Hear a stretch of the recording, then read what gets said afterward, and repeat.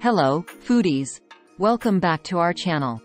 Today, we've got a mouth-watering treat for you, a classic candied yam recipe that's perfect for the upcoming holidays.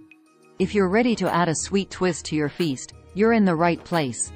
Before we dive in, don't forget to subscribe and hit that notification bell so you never miss a delicious recipe. Let's get started. Here are the simple ingredients you'll need for this amazing candied yam recipe. Check the description below for the complete list. First things first, peel and cut your yams into evenly sized chunks.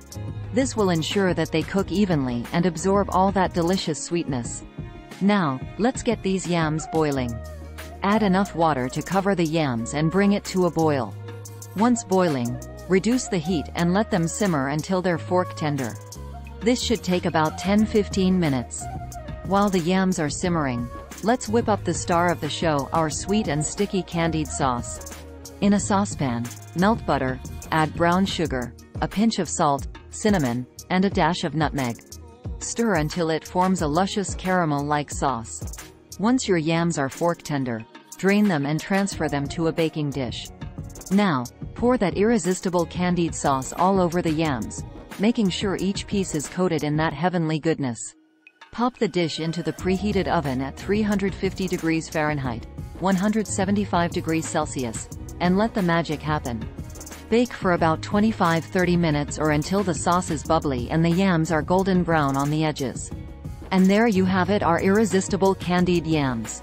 The aroma alone will have your guests gathering around. Garnish with some chopped pecans or marshmallows for an extra touch of indulgence. Thank you so much for joining us today. If you give this recipe a try, let us know how it turned out in the comments below. Don't forget to like this video, share it with your fellow food enthusiasts, and subscribe for more tasty recipes.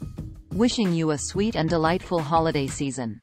Until next time, happy cooking. Mmm. Absolutely divine. See you in the next video.